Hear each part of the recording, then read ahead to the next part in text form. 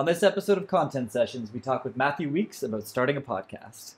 Thanks so much. Thanks for having me. I'm super glad we got to do this finally. Yeah. On a, on a random rainy ass Saturday. yeah. it was a perfect time. It was great. Like I, I like that. Like you messaged me literally like the day before. You're just like, hey, just come down, and it was like Yeah. so just much easier than I anticipated. It's great. Good. Well, I'll tell you the uh, the online booking shit that I use is like Yeah. the greatest time saver of my entire life oh, too. for so. sure. Oh, that's how we booked the first one, but then Yeah. we got busy. So Yeah. glad we got to do it. Um, tell me a little bit about yourself. Um, yeah, so I'm a, a software engineer. Uh, I work at a company called Quantum Mob, which is how we met. At my, the week before I started, came out to the right. the uh, event.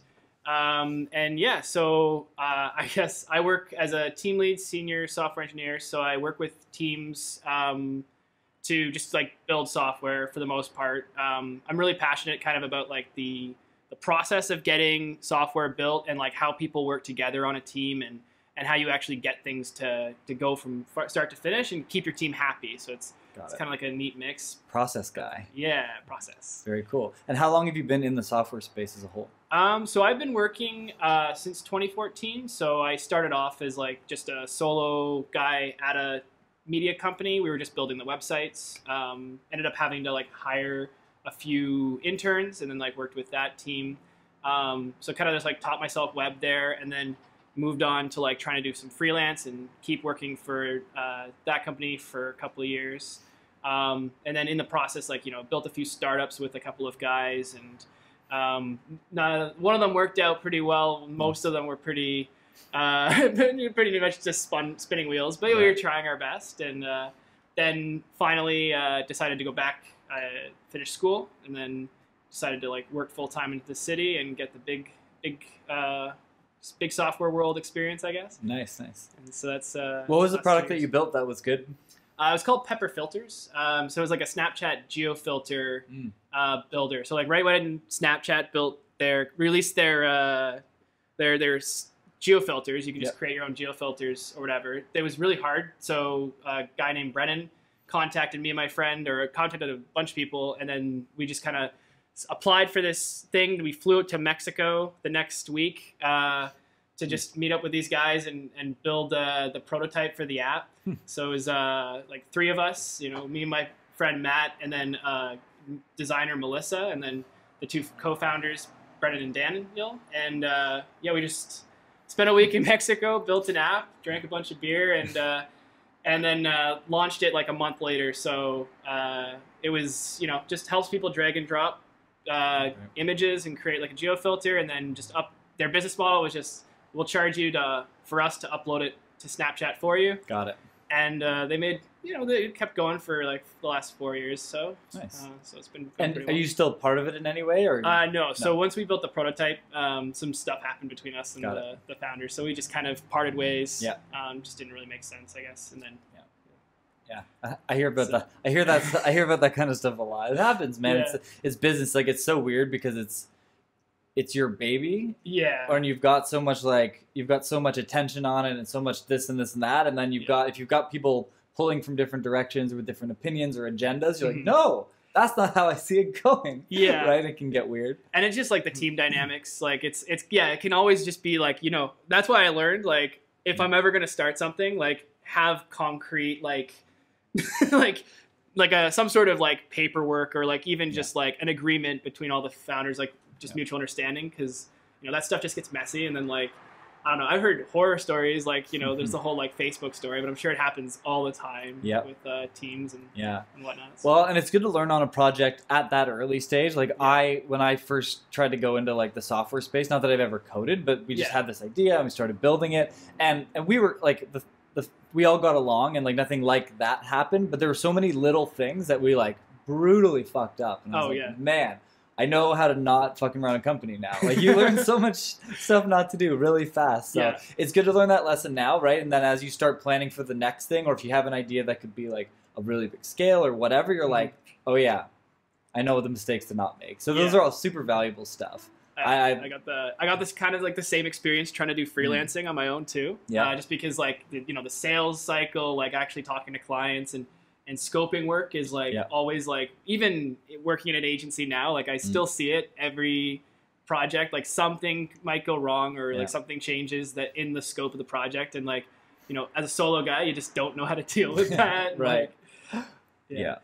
And so, were you? Uh, how long did you freelance freelance for? Like, did you? Yeah. Were you on Um, that for a while? or Where you were just supporting fully of that? Yeah, so I did that from I guess two years, three years. Um, I did it up until uh, 2017, and I started it in like 2014. But I was doing it part time when I had a job, Got and then I kind of went full time in 2015, 2016, and then eventually that like fully replaced my income, and then I was able to just kind of live off of the the freelancing work, and then Nice. eventually thought like you know I. I applied for a job in Australia and I couldn't get a visa, Ah. and so I was like, I gotta go and finish school. so went back and uh, and did that because like it's just you know that sort of Mm. stuff. Like I don't think I'll ever. I never even Mm. went to Australia. I don't know Right. if it'll ever come back, but Yeah. at least I got it done. Nice. And what was the schooling? What was the program? uh, computer science. Got so yeah, Cool.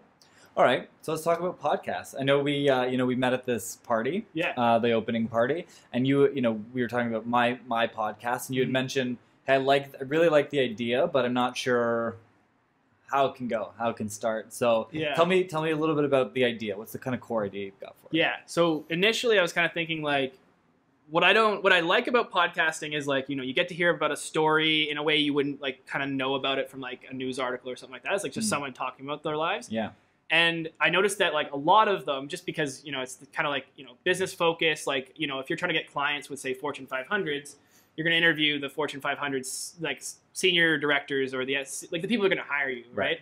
Um, but there's not a whole lot for like that middle ground where like okay, like I'm a software engineer, um, I'm and maybe it's my first job and I'm starting out on a team. Like how does how do you work together as a team? Like how does this stuff get done? And I, I would love to expand it to other stuff, but you know, obviously stick within my current niche at least because I'm not, you know, I'm not going to know about like um, necessarily like an e-commerce business. Maybe I would, but Yeah. kind of like talking to like the the people on the ground level. Yep. Um, maybe like team leads, designers, product managers, um, engineers, um, des- like marketers, uh, just and like whatever, like HR. Yep. I don't know, like anything, and you can kind of just like talk about like, okay, what's your job? How do you get it done? Like, and then maybe if they have some specific like direction they want to go, like, Got it. um, yeah, no, like maybe they want to have a message they want to do. But what, what I found when I talked to people that were like worked with me, um, the the concern everyone had was like, oh, I don't have anything to talk about, and I'm like, Right. that's why like I want to make it super simple. It's just Right. us talking about what you do, Yep. and then you know you don't have to be an expert on anything because everyone kind of is an expert on their job, but Yeah. like we don't necessarily like all have a personal brand or Yeah. like oh I'm the like even like tech podcasts like they always end up falling into like that kind of like um like people go like content form to content form and they're Mhm. always talking about the same thing oh I'm the accessibility guy or girl or I'm the um, the marketing person or the analytics person and I think that's cool um, but like I miss kind of like that you know how do those people get started like when they first started they probably had nothing Right. necessarily that they were like focused on you know Yep. Makes Um, sense. yeah. And so, what I always kind of start with, so why I started this one because I can't Yeah. write yeah at all. Uh, like I, my grammar, my sentence, my spelling, it's all terrible. Even Yeah. with Grammarly, it's not going to happen. Um, and I knew that the business needed to put out content to Mm. generate awareness and build credibility, and it's a lead generating tool for me. So it's obviously different for you, where you're not doing the lead generation. So, Mhm. What would you say is your why? Is it just from a standpoint of like, I just want to like build a network. I want to build a name for myself. I just want to create cool shit. So there's, I mean, obviously, like it's kind of cool to be maybe build like a personal brand or like you know build up something for myself, like a following or like a network or whatever. Um, definitely in the networking part. Um, what I like, what I would want to accomplish is like, say I have like a new developer that I meet at a boot camp because I go to these meetups like U of T boot camps does Mhm. like uh, every quarter they do like a, like a demo of all the stuff that people built and the cool shit that they like hacked together the weekend before, and then same with Juno and Hack, formerly HackerYou. And and so I love it when I get to go to that stuff, and then like developers are always like, okay, how did you get started, or like how do I get a job or whatever. Mm. So I'd love to be able to like turn that into like, well, I mean, like these are the soft skills. Like, yeah, you know how to code, and then maybe you don't even necessarily need to be the best coder to really like level up your team. Like if you know how to work with people and come up with requirements and and and take like an idea and turn it into a design or into um, like a, even like as boring as it is, like a product backlog where you just have like a to-do list of Right. items and you know you know how hard they're going to be, how long they're going to take, and you can kind of like plan your process. Like I think that's the stuff no one really gets to know until they've worked, and then that's the whole thing where it's like Mhm. you know we need job experience so you can get a job, but you want an entry level job, and if you have a degree, Mhm. it's a lot easier. Um, or if you're like you know maybe you can you're one of those lucky guys that's like get has like a huge Instagram following and you, Right. or huge Twitter following and you you get at like like all big companies and all that like you get poached or whatever Right. but for everyone else like the average person like you know it you know you finish a boot camp or something and you're coming from another job like how do you take that and then transfer that into software and i feel like those guys those folks like they tend to have a more interesting background so Yeah. like i have friends that were like doing like biochemistry or like they were accountants before and i've met people who are lawyers and all that and then they got into programming but like because they know how to work with a team it's different but Right. I just think they all have a lot of people have anxiety as they're trying to get into a job. So Right. like I guess the big win would be I, I have something that I can share to somebody that is new and they'll look at it and they'll be like, Oh, like, okay, I'm like not nervous about this. Like I know how to Okay. work in a team. Got it. Yeah. Okay. No, I like that. Yeah, and then that. So I was trying. To, yeah, that really fleshed it out. I think you've you've really considered it. Uh, in, in a like it feels like you've got already kind of gone pretty far down the path Yeah. of thinking about the why.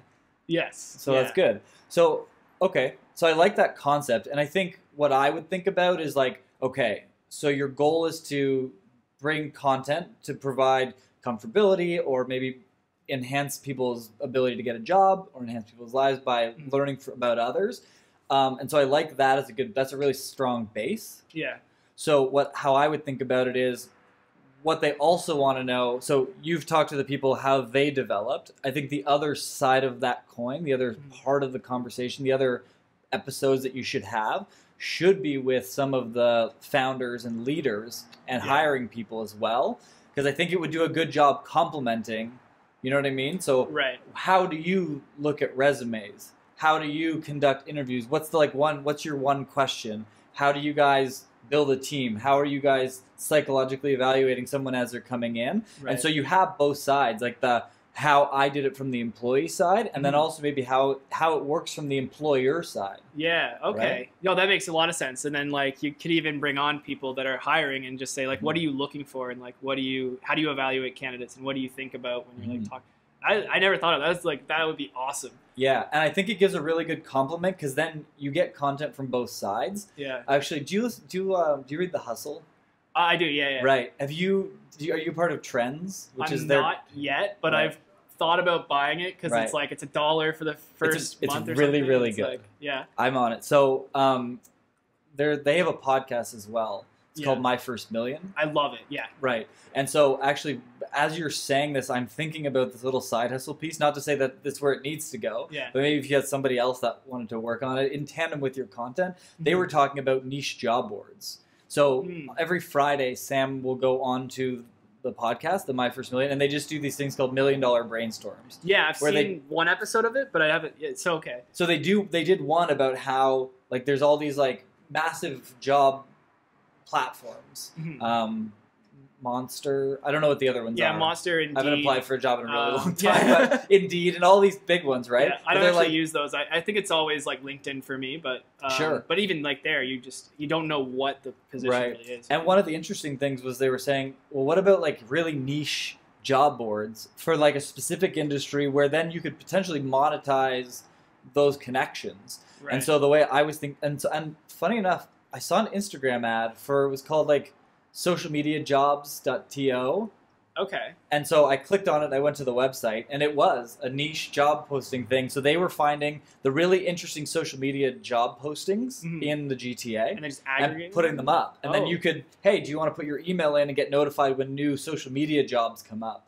Yeah, And, but they were, but the only focus of it was social media jobs and Okay. nothing else. yeah, And so it kind of like struck me like if you're kind of already doing this, it might be an interesting place to play with like um, you know, here's the interesting jobs in tech in the GTA, Yeah. and then having people that listen to the podcast potentially fall into checking out a, a product like that. Hey, Mm-hmm. and I don't know how much work it would be, or if you actually would want to do it, but it might be a natural kind of little side piece that could add to that okay. niche job Yeah. board. Uh, that sounds really cool. I mean, Yeah. I could see a need for that because it's like I noticed that, at least depending on like what you're looking for, Mm-hmm. like like if you want to find like agency work, like what I do right now, and and like consulting and stuff like that, like you know, there's the big firms you apply to, but like I didn't realize how many like agencies were in Toronto. Right. Like I didn't realize that Quantum Mob was a company until Yeah. like somebody I knew got hired there Right. and uh, and and now I'm learning about them, and they've got big clients. Like they're doing well. They've been around for three years, and Yeah.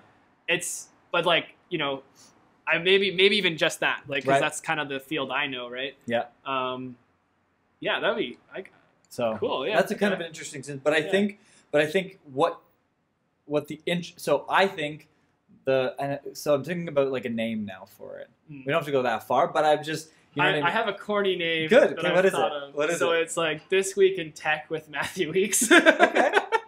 or like weekly weekly Toronto Tech or something like Yeah. that. It's basically just a pun. Like that. It has to be a pun. I feel like because everyone I've ever told this about Mm. to has always recommended some sort of week's pun. And I feel like, Yeah. I don't know. Your last name being weeks, it'll, you almost have to do it. yeah. Yeah, like- you're right. that doesn't make a lot of sense. Um, and I think even maybe um, like um Tor- But- Toronto Tech Stories, or I. But the name of it makes it feel like it's going to be something about the tech news right. rather than the tech players. yeah. I don't know. Like getting started in tech or uh, like I don't know. Like uh, I'll keep. yeah. I'm going to keep rolling it around as we talk about other shit. But yeah, okay. Or like I like the process. You talked about like the process guy being Mhm. the process guy. Like kind of Yeah. like yeah. Okay. we'll we'll come. Yeah. We'll circle back. okay, so now let's talk about the logistics and the, the technical piece, right? Because that's always the like. There's a lot of different programs. There's a lot of different options. There's a lot of different equipment. There's a million different things. yeah. So a couple things that I did wrong at the beginning is I had one of those just um, those Yeti. This the blue blue bu- the Yeah. snowball right or the no, it was the it was the gray one, okay which was okay, but it wasn't good for interviewing people. right So it, it did have you can change it to different directions and stuff. I just found that it picked up every sound under the sun. right So then I went crazy and I bought a four hundred dollar mixer. okay And these were like one hundred and ninety dollars. These stands were actually only ten bucks. okay These are on Amazon. Yeah, yeah. yeah. these were like fifteen. But these mics, and then so I think the mistake that I made is is that these are great. They do produce high quality, but something that's USB based would have been a lot smarter. Oh because you just plug it into a computer You just plug it in right into the computer, yeah and so this is great. If I were to have like four people on and they would all go into the mixer and I can do this and this and that. right But honestly, if you're not producing, if you're just talking, Yeah.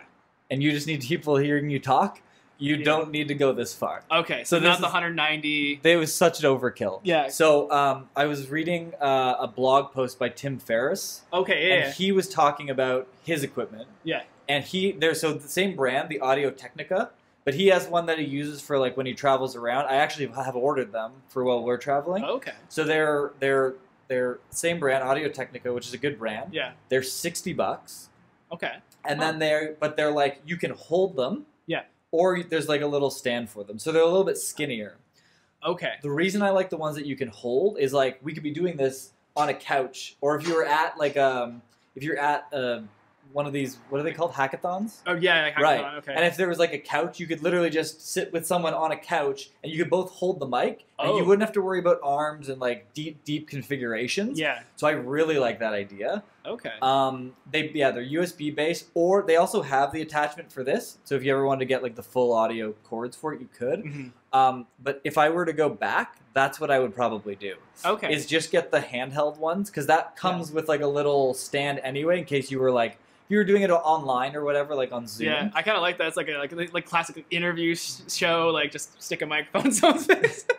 No, I would- the street type stuff. No, no, I would have two. okay. you both have one, and then there you yeah, go. yeah. So I would do that instead of this, even though these are like sleek looking. Especially if you're not going to do video, it really doesn't matter. Yeah. right? No one's going to see what it looks like anyway. So right. I, I yeah. yeah. I don't think I would do video because Yeah. I would want to keep it super Simple. low key. I think. yeah, Um, so I have like a microphone that I Mm-hmm. bought for my brother when he was doing. He wanted to start a rap career when he was like nice. 14, Got it. and uh, he. So it's like this like I don't know what it is. It's Mm. just a USB old mic, but I think I might just go the like just go the route of like guess get the nice one with a stand or Yeah, whatever, yeah. or like the like cheap.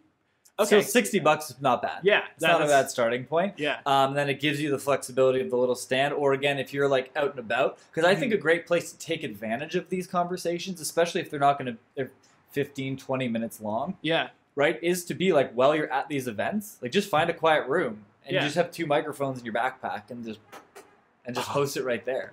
Like That's don't don't go crazy like with where, just do it Yeah. everywhere, anywhere. that that's. Yeah yeah, Yeah.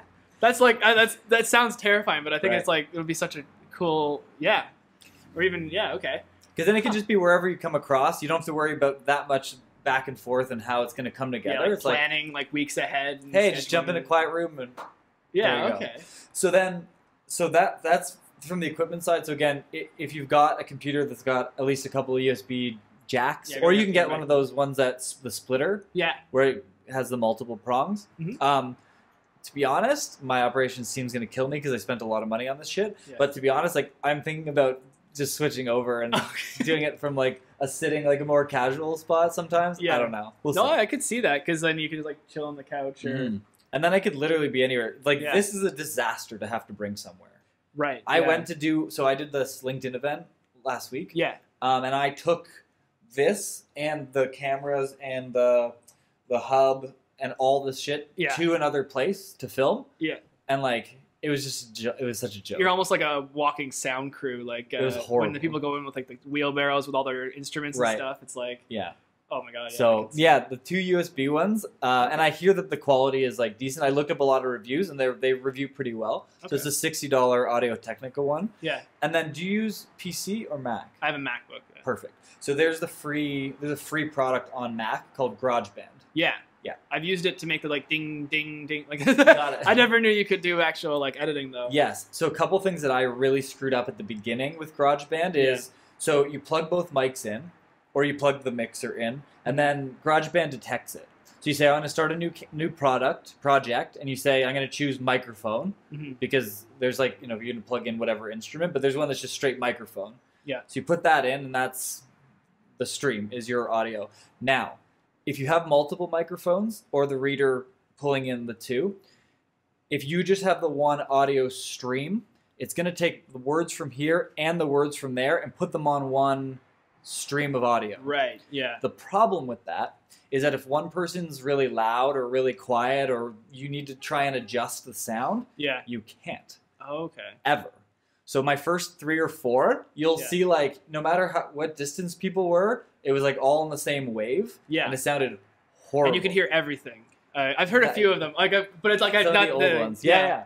So, um, so one key thing with GarageBand is Yeah. you open one audio stream and then you add another stream, and so then you say like USB mic one is this, and you name it. and that's what you were doing earlier when you were like Mike and Yes. And So, but you have to create the separate channel. Yeah. Because what you do at the end is when you're playing them through in GarageBand, so you can edit it all from there, right? And it's just like all you really have to edit is like, do the levels need to go up slightly or do they need to go down slightly? do you go like frame by frame or like chunk of time by of time or you just do Yeah. it for the whole thing Yeah, so when you're when you're looking at it after, Yeah. and you're scanning across the audio blips, you'll see like if something went really if a thing went Mm. really high, yeah then you'll know okay that might not sound great. So you can set what's like I don't actually know what the technical name is, but it's basically like you can set a ceiling yeah for the audio. I feel like I Know it? studied this at one point I never did. I did so digital media fair so- enough. So all I know all I know is that Yeah. like it caps like the height of the, the and it audio. just like levels it out or Levels it out. yeah okay So outside of just like and, and so what I do ahead of time is with the microphones plugged in, Yeah. I have us have a conversation so I can see oh is one of us going like really high Mhm. at any point, and if we if one person's a little bit too high, you just turn the the uh what is it called the it's like the the pickup okay the yeah um whatever. I don't. Yeah. Not technical. All matter. all I know is just a knob that's like the plus or minus. yeah. Um, and so if you if one person's talking and their levels are consistently really high, like in the yellow, Yeah. so it's like green and then yellow and then red. Okay. So if we're talking and one of us is in yellow, you just turn the level down Hmm. so that it it throttles it back. It basically turns it down ahead of time. oh, you do this through the through the mixer then. I do I do it through the Um, mixer, but it has the setting right in GarageBand. Oh, okay. Yeah, so Yeah. you can adjust it right in from GarageBand. So as long as you pay attention to that before you hit record, Mhm. then it shouldn't. Nobody should be able to spike. Oh, cool. So we've very seldomly had to really adjust audio. Yeah. If we do them on like Zoom, or if it's like a video call, sometimes the Right. sound from the other end we got to like crank that a little bit because Okay. I might be like on my mic and they might be in like a headset mic and it might not be quite the same. yeah. Um, but if you're sitting with the person and you can test it and just adjust, it's the, that's the only thing you change. Mhm. It's just that first audio level on both to make sure nobody's natural speech is spiking. Right. And And you just like have them talk for a little bit, check it out, and then just toggle it, and you're good. And then, Yeah. Okay. Cool. so we've never had to edit beyond that with audio ever. Wow. Okay. So what you can do is just after you're done, you'll see the waves. Yeah. And just make sure there's no like point where it goes like really high because that's where it will sound bad. Yeah. So it's basically like if the mount the spike goes way up. But again, if you've adjusted it from the beginning and then nobody screams into the mic, you shouldn't have Right. a problem. Like if I'm like laughing maniacally or something, it'll probably Right. spike a little It bit. could. and you might Yeah, to, like- Um, and then right from inside GarageBand, if those levels don't need to be adjusted, Yeah. you basically keep those levels both active, and then you export it. So you cut the beginning because we'll maybe have talked for a few minutes before, Mhm. and then once we're done, before I hit stop on the audio, Yeah. there might be a little bit of conversation. So you can literally just move the start, move the end, Yeah. and then export it as an MP3. and Okay. you're done. yeah, and that's it. They're just Done. easy. Yeah. Okay. Yeah. And then where do you what do you do with that file? You just upload it somewhere. So the beginning of the podcast process is a little bit of a pain because you have to register your Okay. podcast with different channels. Right. So I have to apply at like podcast.itunes.com and then Google Play Podcasts and Mm. Spotify. So you have to create an account For each, one. Okay. at first. Yeah. Then what you do is um, you upload it into an RSS host. Yeah. So there's like podcast.rss or podcastrss.com, Anchor. Yeah, Anchor I've heard of. Um, Anchor's really good because yeah. they're free and they've got a lot of analytics Oh, and a lot of great okay. tools. And I think they make their money. I've actually just switched to Anchor, Yeah. so they make their money if you monetize the podcast.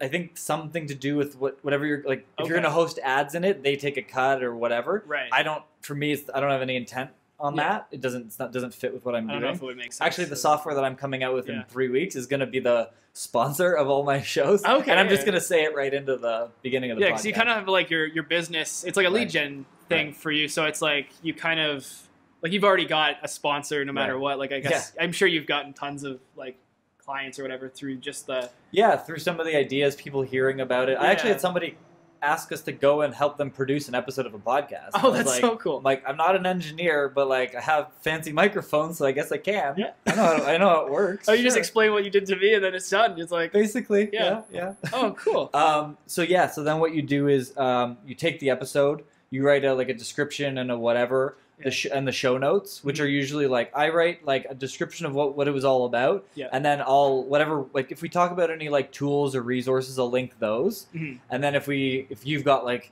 Instagram or your business has a website, I'll put like all the Yeah. links out to that. Okay. Um, you dump that into Anchor, and Mhm. then so all the Spotify and Apple and Google and all that has your feed. Yeah. Basically, it's just a, a- an RSS feed URL, okay. and they they already have it.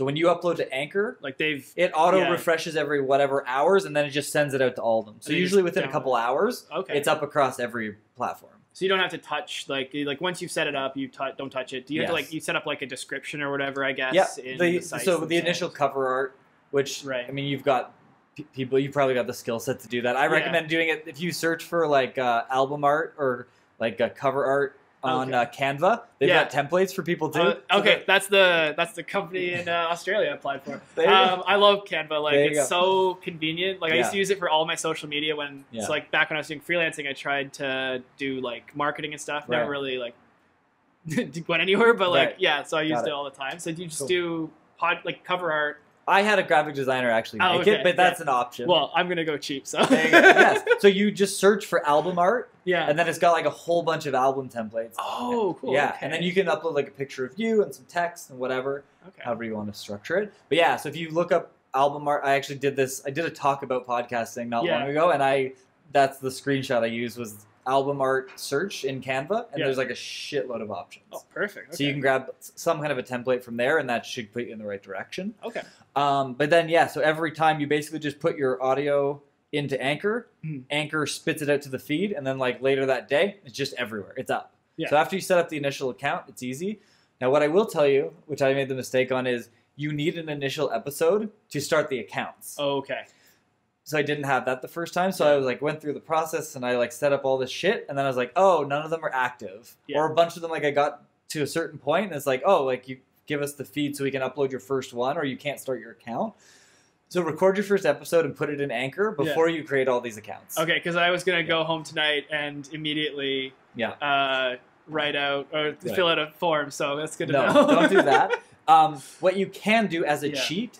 So the way I got mine up and running, because I didn't have any guests, I didn't even know what the hell I was going to do. Really, when I Mhm. started, I was like, I'm just going to make it up. And I had a, a hip hop artist called Golden G who we've been we had been talking. I was like, yeah. dude, just fucking come to my house. We're gonna talk shit. And he's like, all right. Yeah. But before I had that, I just I basically said, hey, this is like, uh, hey, welcome to the Content Sessions podcast. I'm the host, Mike Moll. In the coming weeks, I'm gonna deliver da da da da da. So I actually recorded like a 30 second episode. Mhm. I uploaded it so I could get all the channels started, Okay. and then I deleted the episode after I had the first real episode. oh, so you didn't keep it up or anything? No, so because no one's gonna, no one was gonna see it, no one was gonna really know, Yeah. right? Who's gonna come across it? Nobody. yeah. So I created like a thirty second blip until I had an episode or two, and then I started uploading them, and then I took that one away.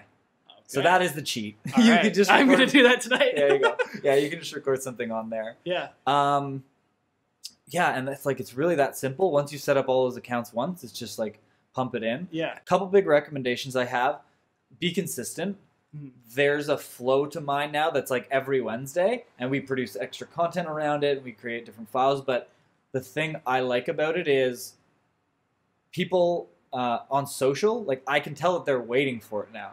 Because when it Yeah. drops and I announce it, it's like, oh, cool, thank you for what like.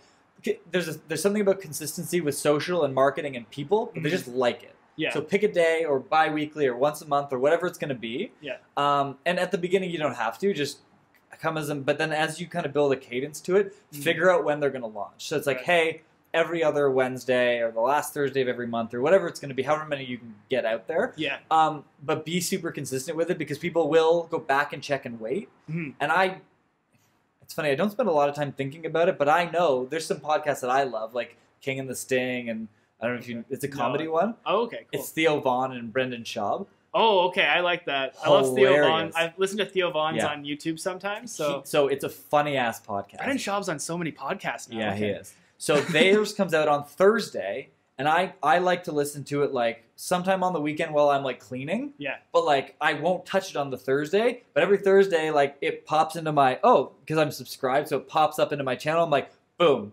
Now I know my Saturday cleaning is going to be awesome now. Okay. And I have a relationship with it coming out on Thursdays. yeah. So people have people really like the consistency. Okay. So whatever that ends up being, Yeah. just try and like as best you can stick to it because people really like. Yeah, like I noticed that with like so like YouTube, like I follow like Philip DeFranco and stuff Yeah. like that, and like I literally like I know Monday night, Yeah. I know exactly where I'm going to get my news, even though it's Yeah. all American, so it's Yeah, a little bit different. But Yeah. there's always something useful. Yeah. Um, but yeah, like okay, So And that's really just how do you? So say you go on vacation, right? I. Yeah. I like to travel like every quarter or whatever. How do you not miss it? Do you work while Yeah. you're on vacation, or So this episode, yeah? so we're November 8th. Mhm. This is my December 21st episode. Okay, I've got I've got them recorded 7 in advance. right. So I could stop for a month and I'd be good. Oh, perfect. Okay, So batch them. yeah. So what I would recommend depending on how long they're going to be, if you've got a free Sunday and you've got a list of people you want to hit up, Mhm. just so what I used to do is I used to book Sunday at or Saturday at 10 a.m., Mhm. 12, 2, and 4. Okay. And I would do four in a day, and then I would be good for a month, Wow, coming okay. out every Wednesday. yeah. That's how I did it. Oh. So what I would do is the next time you're at one of these events, yeah. If you've got like a communicator like that you can talk to the people ahead of time or like a Facebook group, be like, hey Yeah. guys, starting a podcast, I want to interview people about how they da da da da da. Would really love a bunch of you to participate, and then just fucking record five or six of them while you're there, cool. and yeah. then you've got up two months worth of shit right there. and you just go to like I could even just do it at the event. Like Mhm. just go to like so I'll sign up. I could go on Eventbrite tonight, find Yeah. an event, and then just sign up, and then I guess I guess I'd have to message the guest list or something. Yeah, or just show up or show and up as with people, you know what I mean. Just say like, actually, something that I consider doing at marketing conferences, Yeah. and I- I'm probably still going to do it. Is I have a marketing podcast. Do you want to be on right now? Okay, and just put it on a. T-shirt, and people are like, "Yeah, okay, cool, come on, let's go." I've got the microphones in my backpack. I'm not kidding. That would be so awesome. I'm actually really considering it Yeah. at, at the next event I go to. That's yeah. I think that Yeah. would work really well. You know, I want to know about.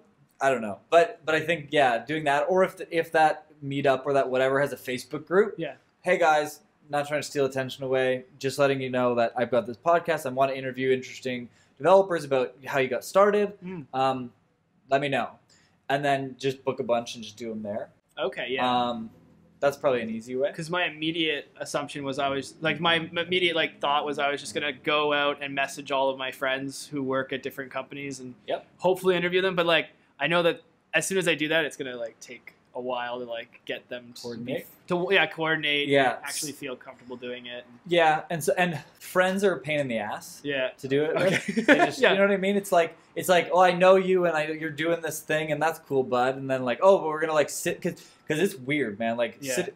The first time I like interviewed someone I knew like well, Yeah. it was awkward as fuck because we're used to like being in a certain way, and then I'm like, Yeah. no, I'm gonna structurally ask you about and pick apart your marketing. right. Want to talk now? And it was it was like it was fucking weird. Yeah, it's a We little were bit more intense. We were for staring at each other like a couple awkward times, and I was like, okay, no, no, no, come on, this is you know what the fuck you're doing, just keep it going. Right. Um, so it's weird, yeah, with like friends and family, it's odd because you're now interviewing and you're trying to like you're publishing content that's part of something that you're putting out as a person, Mm. and you don't want it to be like super laughy and super dumb, right? yeah, like just like uh, okay, yeah, I can see that because it's more professional. Like keep it Yeah. like kind of It, and it can be fun. It's just weird interviewing your friends. right. Yeah, It just is. No, I can see that. So you can do that. The best way that I've done it is like if you if you follow people on LinkedIn or you're connected with them on LinkedIn or Instagram. Mhm. Um, best way to do it is do a voice DM. It works. Yeah. So LinkedIn and Instagram both have voice DMs. Okay. So you literally record a voicemail that sends to the person.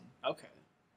Huh. Okay. Yeah. Yeah. So so on Insta, so the the hard thing with Instagram and LinkedIn re- outreach is Yeah. like people, especially like leaders and other people, tend to get a lot of messages. Now, people Hmm. that are senior software people in other companies, maybe not as much. Just They don't get as all the time. bombarded.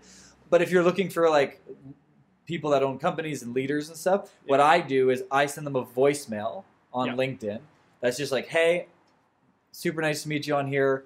I host this podcast called Whatever. I really think you'd be a great fit. Would love to chat more about it. If you're into it, let me know. Yeah. So then it DMs that person, and all they see is a little audio blip, and they're like, "The fuck is this?" Right. So because I get so many messages, if someone sent me text, yeah, I've Hey, never Mike. received I a wanna do this. of- so that's the key. Yeah. Yeah, it, it works incredibly well. So you see it, and you can't see what any of the content is until you press play. Until you press play and hear the person's voice, there's no like, I can't just read it and be like, ah, I don't know, I'll think about it, I don't care. Like you have to play it, and when you have to play it, you're like, I don't get a lot of voicemails on LinkedIn. Like it's weird, Yeah. but it works super well, and everybody responds. And it's more it. personal, really. Mhm. Like you're not like it's not like a template. Like I'd Yeah. have to specifically say it to somebody. Right. And like, yeah. Yeah. So that brings a way bigger, like personalized approach, Yeah. and it will make way more people say yes, and it'll make it really hard to ignore your correspondence to them. Mm. The other, the other big thing, and I found this with my LinkedIn online conference and with the podcast, is like people don't get asked to do this kind of stuff a lot. Right. It's still kind of new. Like it's like it came from a spot where it was like, hey, it's like you do a TV interview, which is like Mhm. ten years ago. That's all it was. But not many people got TV interviews. It was uncommon. Yeah. And then it was like, oh, like guest posting on a blog, but it was still not as like podcast is like it's such a new medium still. People feel like there's so many out there and so saturated, but it's not. There's Yeah. not that much out there.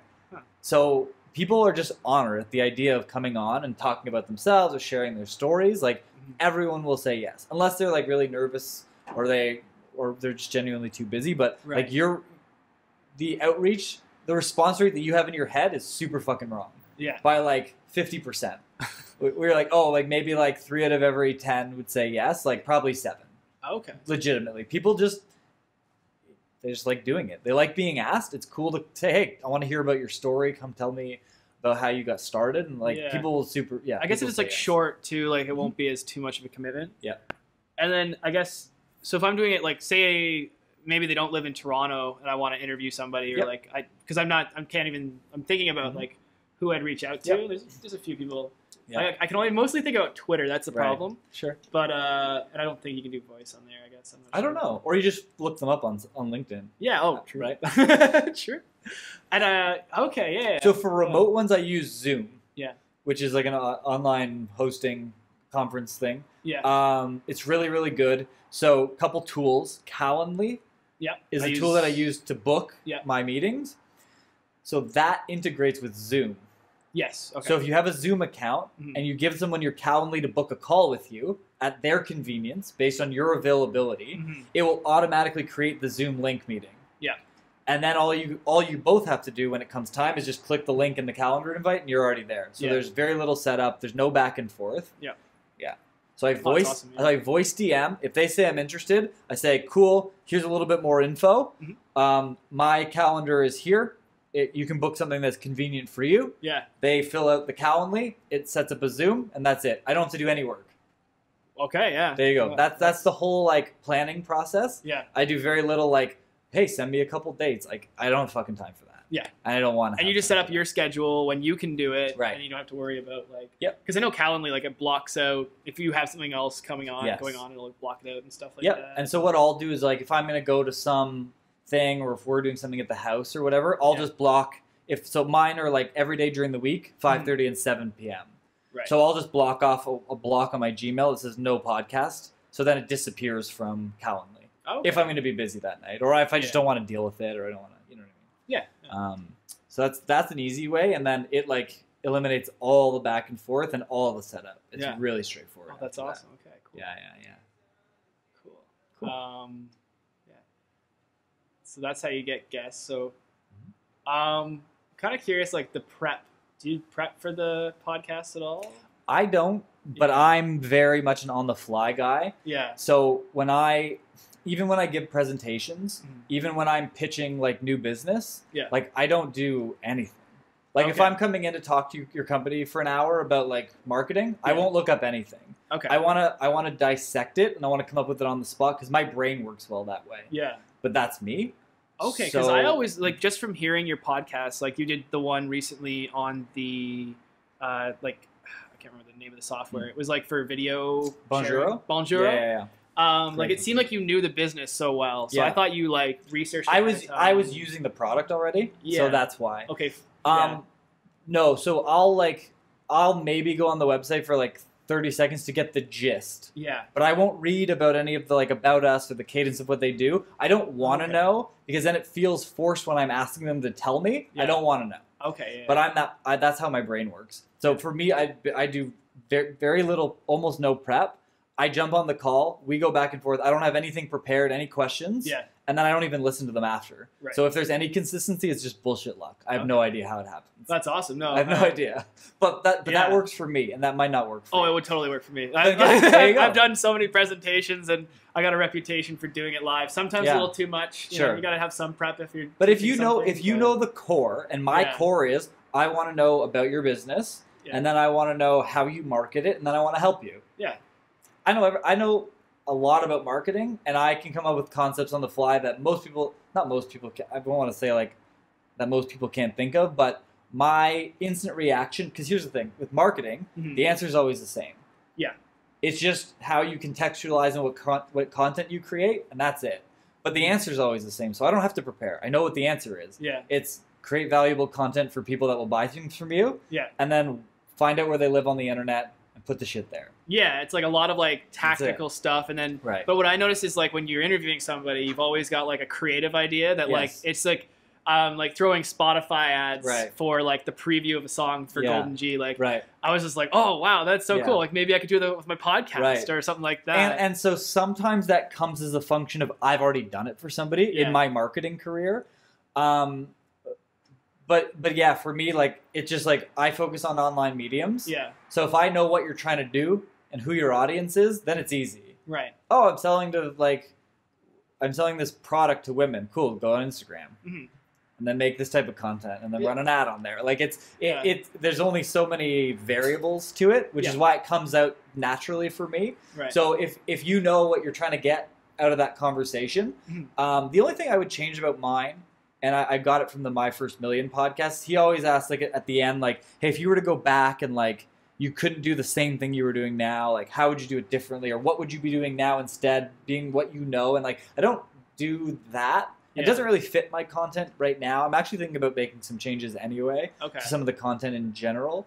So I would just think like I like the idea of having that like one thing that kind of solidifies that one consistent piece Right. Where like it doesn't matter where the conversation goes. Okay, then also just like what would be your one so here's what yours would be. Yeah. Hey, what's your one piece of advice to the 5 years ago you when you just started when you were trying to find something and a job? Mm. oh, you know what? I wouldn't have writ- I wouldn't have been so snarky on my resume, or oh, I wouldn't have this or this or that. So ask them that question that then comes back and serves the audience. Yeah. you know, Okay. Yeah. and make no, that the one piece that anchors it. Yeah. And you know, what would you tell your yourself from the first time you were looking for a job based Yeah. on what you know now? Oh, I would say Like if you didn't know all the technical. Oh, sorry. right. if you didn't yeah um, like if you didn't know like the technical aspects that you know now Yeah. but you had like the experience and Mhm. you were to go back and try to start over yeah, what would you do yeah, and like how would you get started and what would you what strategies would you take to like get to that level that you're at now something like that. Yeah. Like, yeah, or how would yeah okay you know what I mean. yeah. So that then it brings that. Uh, one one piece of consistency, which mine currently doesn't, which is Yeah. how I'm, I'm starting to rethink about it now. Because a lot of the ones that I'm really into have that they circle back to something, and I'm like, oh, cool. And I don't know how to fit it into a marketing consultation yet, but I'm still kind of fucking around with it. yeah But yeah, I think that for you because that's what you're talking about. And Yeah. if you're talking to a leader on the other side, is like, hey, if when you, what would be the thing that you would tell you when you before you got into the leadership, like all the way back from there? Because these the people that are aspiring here might then aspire to go the leadership or management or whatever. So Yeah. then, cool. This serves them, Yeah. and this serves the people who are listening to the podcast at the beginning, yeah so it's kind of like different tiers of Mhm. like your progression right? like But then that one question helps journey. anchor and serve every kind of member of that audience. Right, and then Mhm. they'll they'll kind of like, yeah, okay, because like on the my first million, like I didn't even really notice that he. I mean, I listened to every episode, I Yeah. love it, and then I, I'm guessing, yeah, I am Yeah. familiar with that question, but I just didn't even realize that. what happens is when time. you start podcasting, you Yeah. listen to podcasts super different. yeah, Like nothing. Like I, I don't even listen for the content. I'm like cadence and structure and all like these Right. little nuances now. Like that's what I pay attention to more. yeah, Just because when you start doing it, you're just like. But it's like anything, right? yeah. If you weren't making software before, you wouldn't look at uh, the user experience oh yeah, user interface. And then when you start doing it, you're like, everything you see, you're like, oh, that's user interface nightmare. Oh my god, this like this little button is the smartest thing ever. You look at it differently. Yeah. So when you're doing it, you look at it differently. So when you start listening to podcasts and content, you'll start listening to it really differently when you start to execute them. Yeah. okay, weird. that'll be interesting. Yeah. I, I wonder if that'll ruin podcasts for me. No, it doesn't. I still Okay. I still love them. because it's my uh, I use podcasts as my escape from work, so I wonder if Yeah. they'll turn. I, well, this Yeah. is gonna be a hobby No, anyway. it'll so- be good. You'll like it. Okay, man. cool. Any Yeah. other thoughts? Any other questions? Um, I'm trying to think like. Uh, so do you like? So you don't do any preparation for it, but like, I guess like, how do you come up with questions or like on the fly? Because I notice you ask like, so like they'll someone will be going on like a bit of a Mm-hmm. tangent about like um, maybe like they have something else to say, Right. but then you'll ask a question that just goes back. Yeah. I'm trying to think of an example, but It's because I frame everything around why I'm doing it. right, So, and I I had a bad habit at the beginning, and my recent episodes are down to like ten minutes of the backstory instead of thirty, Mm, because the thirty minutes of the backstory is not why we're talking. It's a marketing consultation on a podcast. yeah, So the thirty minutes of like all these nuanced questions about like when you were a kid, did you think it was going to go this way? It's like that shit doesn't matter. It's not serving the why of what I'm doing it for. Mm. So I've gotten and I but you'll see in like the first 10, 15, I would let we would go down these super long rabbit holes of the backstory and education and childhood and stuff and I was like, wait, no, that's not serving what the point of the podcast is. Yeah. The why is I'm trying to teach people about interesting ways to think about their marketing. Mhm. And that's not being served by talking for 30 minutes about your backstory. Right. So we do five to 10 minutes on your backstory, and then cool, let's talk about the business now. Yeah. That's how it circles. and you kind of like because when uh, what I always found is like it seems like you you do your intro, you get to know the person Mm-hmm. and the business, so like how it got started, and then you dive deep into it. Yeah. So it's it almost transitions really well. Like I feel like maybe I could do something because like okay, so what do you think is like a good length? Like it should Right. be like 10, 15, 30 minutes. You, you'll figure that out. Yeah. There's no answer. True. Yeah. I thought I thought I had actually before I ever started, I wrote down I was like, cool. So it's going to be three minute intro to the guest, Yeah. and then two minutes about their business, and then about three minutes about how they do their marketing. And I had it like structured. Yeah. And then the first conversation I had was like an hour, and I was like, ooh, fuck, that's not 20 minutes. Yeah. Uh, I don't know how I can do it in 20 minutes because understanding the person and their business and their their current marketing is a big piece Mhm. and it also helps the audience frame up oh that's how i've done this or or, or i didn't even think about that Right. and if they don't have the framework of what's being done my ideas on top of that don't make sense Yeah. so it had to be longer so they now they're 45 minutes to an hour but you'll figure it out Yeah. right you'll you'll have a couple where you'll publish them and you're like i have a couple that were like an hour and 45 minutes and i was like fuck we just like rambled on forever Yeah. and then some of them that are that long, I'm like, no, it was fucking great. Like it was really a lot of really detailed shit on point. And I'm Yeah. like, so there's no answer. Right. And do you worry about like losing listeners or something if you a probably not, right? No. It's just like no, it doesn't matter. Yeah. None of this, none of it matters. You Yeah. like taking this too seriously is like for me, it was like an outlet. It gets me in touch with people that I usually wouldn't get access to. I get to have interesting conversations, and I get the prestige of having a podcast, and it Oh, gives yeah. me great social content. totally, yeah. Fuck it, that's it. That's So I don't, I don't care. I, I could have ten people listening. I could have ten thousand. Yeah. it doesn't really matter. As long as Um, are you yeah. are you willing to share like how many listeners or like how, what's your like typical like listen rate or So- or when you started and like Mhm. now Um. yeah So I haven't looked at the subscriber numbers for a while. Yeah. Most of our traffic is YouTube because we run ads okay yeah on YouTube. So we get between two and five thousand views on YouTube, right but a bunch of those are paid, yeah paid views. But my average view time on my paid views is over twenty minutes. Yeah yeah So like it's really like- like you just like yeah. sponsor like a Yeah. huge video Mhm. it's not like a 15 like they have 15 seconds Yeah. but they just kind of like I just do the whole thing. that's a cool Yeah. strategy like I don't care. does it yeah. cost more to do that or No, it costs like two cents a view. oh I, Okay. I every episode I, I I put like twenty bucks. fair enough That's okay. it. And I get good traction on it. Like, but my followership on my subscribers on YouTube is like forty. yeah There's almost none. Yeah but you um, just like your your only goal is like to get like you just want to put it out there I want the right people to stumble upon it. Yeah. So I know that my channels are really good, like Instagram, putting the content on LinkedIn, Mhm. um, and then putting it on YouTube. okay And then I don't. I want to start looking at like numbers and traction at some point, but for now, what I know is that the people that come on the show, Yeah. their friends and their fellow business peer group yeah are like, "Hey, I need help with this," and they're like, "Oh, fucking talk to Mike. He's really smart. He knows Right. marketing really well." That's all I care about. yeah I don't care if there's ten or twenty people listening to Oh, it wow, on iTunes because I already know what it's doing. it's almost like it's it's like the, the guest is like for you the Right. making the guest feel like they had a good experience Mhm. is is more important than like the listener actually caring about the content Right. or whatever because Yeah. Okay cool yeah. Because for me, it's like it's like a blog, right? Yeah. I Yeah. can put a blog on my site. I can't because I can't write, but you Yeah. could put a blog on a site, and like, who? It doesn't really matter how many people get to it. But the key is, if Yeah. I know that this will serve a Facebook group or a LinkedIn group well, I'll reach out to the administrators and be like, "Hey, I wrote this monster piece. It's pure value. There's no sales stuff in it. Yeah. Can I put it in here?" And if ten of them see it, and one of them's like, "My God, this blew my mind. I want to hire them," then Yeah. who fucking cares? yeah okay my it's a it's a lead gen and it's a piece of um, builds credibility for the business. Mm. If people new to us come in and see yeah that they're they go on our website and they whatever they see a bunch of episodes Mhm. and then they see me giving advice and that's all I care about. yeah I don't care about the following at all. oh that's great So Yeah, whatever whatever comes out of it, Yeah. sure. But I I haven't looked at the numbers like on Spotify. I don't know how many people subscribe on totally yeah. iTunes or Spotify. I have no idea. I like that because, like, I guess for me, like, I'm making it so much more high stakes than it really Mhm. has to be. Like, Yeah. it kind of just, just ends up being like a cool casual conversation with somebody. Yeah. Like, I mean, even this, like Right. coming in, I was terrified, but this is like just a conversation. Like, Right. is- And but it's crazy because people, somebody Yeah. listening to this, is gonna get some inspiration or some motivation from it. It's gonna help one person. Yeah. Same thing with the marketing. Hey, and I've had people email me saying, "Hey, I watched your episode on X. I tried this. It was fucking great. I love you." yeah. Done. I'm fulfilled.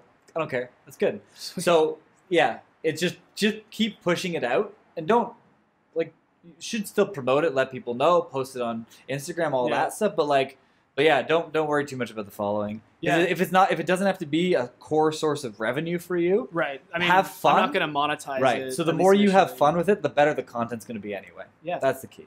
cool. Yeah, yeah, yeah. All right. Cool, man. I think that's like I'm pumped to do this. This is Love awesome. All right. So good. Thanks for coming on. Good Yeah. luck with it.